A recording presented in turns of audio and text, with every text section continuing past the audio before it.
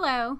In this video, I'm going to show you how to copy lab results into your note using something called Advanced Result Citation. So let's say I'm in the patient's note and they had some current lab tests done that I would like to copy into their note. From the note, I would go to the lab button on top, right click on any lab test, and then look for this button called Advanced Result Citation.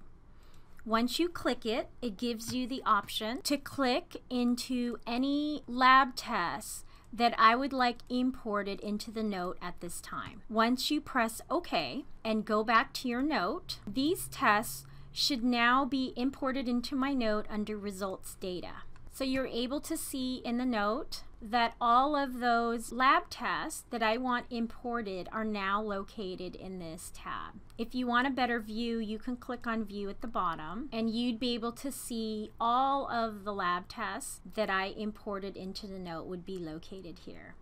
And that's how you copy lab results into your note using Advanced Result Citation.